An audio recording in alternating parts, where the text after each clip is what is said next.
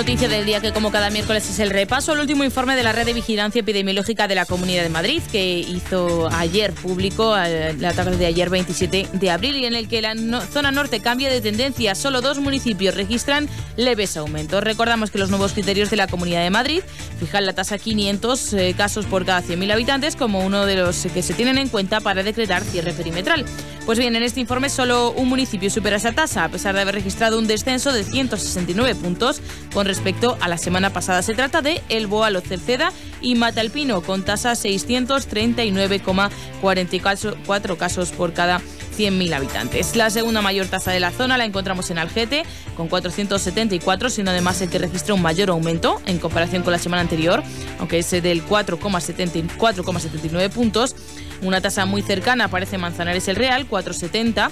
Recordamos que además ha sido eh, bueno, pues el que tiene mayor descenso de la zona con respecto al informe anterior y que se encuentra bajo restricciones perimetrales. El último municipio por encima de la tasa 400 es San Sebastián de los Reyes con 407,74. Si miramos el grupo que se encuentra entre 300 y 400, lo abre Colmenar Viejo con 388 casos por cada 100.000 habitantes. Le sigue Alcobendas con tasa de 374,95. Es el otro aumento de la semana en un 0,80 puntos con respecto al informe anterior. Por encima de 300 también está Tres Cantos, 322 y cierra el grupo Miraflores de la Sierra con 314. Por eh, las menores tasas encontramos en Soto del Real en 100,21 puntos, ha reducido la tasa y deja la incidencia en 233. El municipio con menor tasa es Guadalix de la Sierra.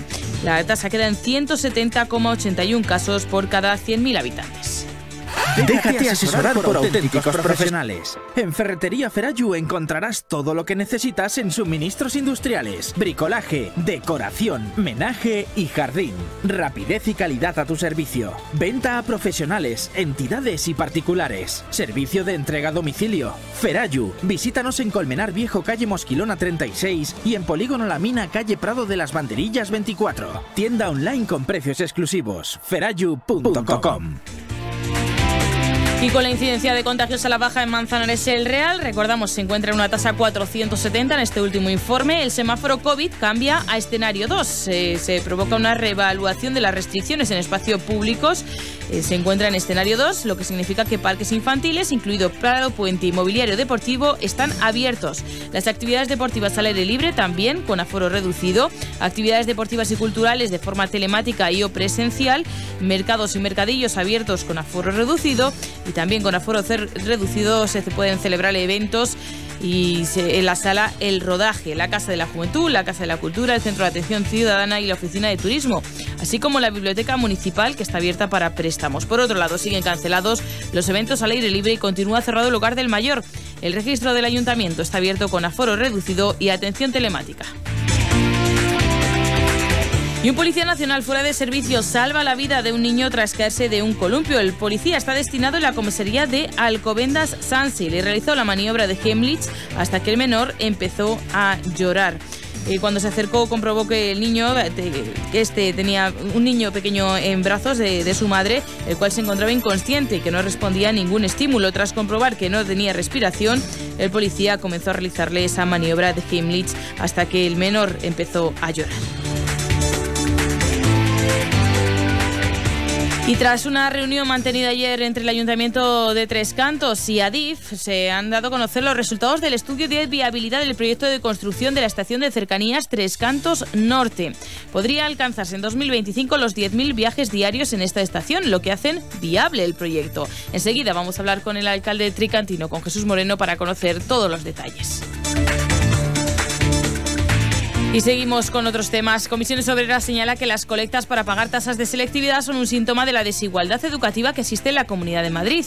A raíz de la colecta que han realizado en un instituto de Móstoles para pagar esas tasas de alumnos y alumnas, dicen que es necesario denunciar la inacción de la Comunidad de Madrid para garantizar el acceso a la universidad a las personas que reúnen todos requisitos y méritos, pero que no tienen recursos, especialmente durante una pandemia que ha afectado duramente a los salarios de innumerables familias. Isabel Galvín es secretaria general de la Federación Enseñanza de Comisiones Obreras en Madrid. Y lo que pedimos es que se regule eh, de una forma urgente una vía para que haya exención de pago para, aquella, para aquellos alumnos cuyas familias económicamente no lo puedan asumir o haya también eh, una, una, digamos, de manera escalonada, pues haya una, una manera de poder recoger que igual que se puede eh, estar exento de este pago cuando se es miembro de una familia numerosa, se pueda estar exento de ese pago cuando tus padres están en el paro, cuando la familia no tiene ingresos suficientes cuando hay una situación eh, que te sitúa eh, en, una vulnerabilidad económica de la familia, pues que eso quede reflejado, que no sea necesario pagar estas tasas. Son unas tasas administrativas. Por lo tanto, quedan fuera también de todos los, todas las regulaciones que hay de becas, que están pensadas para las tasas académicas. Entonces, también aquí otra posibilidad de resolver la situación es que se incorporen las tasas administrativas a los programas de becas pero el objetivo sería y es que no, no se nos quede ningún alumno eh, fuera de, su posibilidad de, terminar sus estudios y seguir sus estudios por, por una por una situación económica de su familia que lo haga que haga imposible pues terminar de, superar este, este obstáculo que suponen estas tasas administrativas. Recuerdan desde Comisiones Obreras que el coste de estudiar en la universidad pública ha subido 12 veces más que los salarios en la última década y que Madrid se, sitúa en el promedio de la, en el, perdón, en el extremo del promedio nacional entre 2011 y 2013. La Comunidad de Madrid superó el doble del precio de las tasas universitarias. Vamos ahora hasta Alcobendas, donde los 663 contenedores de residuos urbanos de Alcobendas se van a limpiar cada mes gracias a la ampliación de este servicio que a partir de ahora ha duplicado las jornadas de lavado de estos recipientes, tanto de carga trasera como lateral, pasando a ser 103 al año. La ampliación del lavado automatizado de contenedores de residuos es otra de las mejoras del contrato de limpieza del ayuntamiento que ha firmado con la empresa concesionaria Acciona y que ha supuesto elevar el presupuesto anual destinado a este fin en más de 2 millones de euros. Y Vecinos por Algete propone una serie de, propuestas a quien ocupe la presidencia de la Comunidad de Madrid. El partido local algeteño, con representación en el ayuntamiento, que por carácter local no cuenta con representación en el Parlamento Autonómico, va a presentar una moción al Pleno Ordinario de abril con una serie de propuestas para los partidos que sí aspiran a la Asamblea de Madrid. Escuchamos a Sergio Velasco, que es portavoz de Vecinos por Algete. Lo que pretendemos con esta moción desde Vecinos por Algete es que los candidatos que aspiran a presidir la Asamblea de Madrid tengan en cuenta las distintas necesidades de Algete, que son competencia autonómica, como son la sanidad, la educación, las grandes infraestructuras, los transportes, etc., y que lo incluyan dentro de su agenda política. Por ejemplo, la prolongación de la línea C4 de cercanías desde Alcobendas Sanse hasta Algete, la mejora de frecuencias y servicios de las líneas de autobuses interurbanos, la construcción de una piscina cubierta comprometida en el programa de subvenciones del Plan PIR 2019-2016 o el Plan Sanea de renovación de redes de saneamiento. También la construcción de una carretera de circunvalación para evitar que el tráfico de la M123 pase por el casco urbano de Algete. Y una firma de joyas planta un bosque de árboles en Guadalix de la Sierra y es que ha sido la localidad más votada por los seguidores de la firma Bombay Samset para acoger este pulmón verde. Con la iniciativa la compañía pretende contrarrestar su impacto ambiental. La estará fundada en 2018 por la diseñadora india Nidhi Patel y los zaragozanos Miguel y Pablo Herrero. Está siendo impulsada por Lanzadera, la aceleradora de empresario valenciano Juan Roig. Según se explica en un comunicado, lleva el ADN del compromiso por el cuidado de la naturaleza y el medio ambiente. El bosque Bombay Sanse se ha materializado gracias a la colaboración de más de 100 voluntarios y seguidores de la marca que han plantado con sus propias manos más de 400 robles, arces, madroños, sabinas y fresnos. La plantación se hizo en una jornada lúdica el pasado fin de semana, cumpliendo con las medidas de seguridad. Además, la marca de joyas ha lanzado la colección Anillos Guadalix para conmemorar el evento que incluye el nombre de cada una de las variedades de árboles que han plantado en esta acción ecológica. Y un último apunte, una previsión, y es que a partir de hoy el Centro de Arte Alcobendas acogerá la exposición Pablo Pérez Mínguez, Retratos.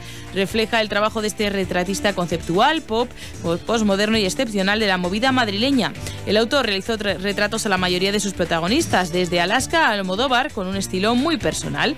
Además, produjo una parte importante del material gráfico de la movida. Formó parte como artista, agitador y aglutinador de este cambio que vivió España en los años 70 y en el aspecto cultural que se convirtió en la movida madrileña. Y ahora, en Onda Cero Madrid Norte, por gentileza de Cocibañi, el número premiado ayer en el sorteo de la 11. Ayer martes 27 de abril el número premiado en el sorteo de la 11 fue el 15.314 15314. La paga el número 37.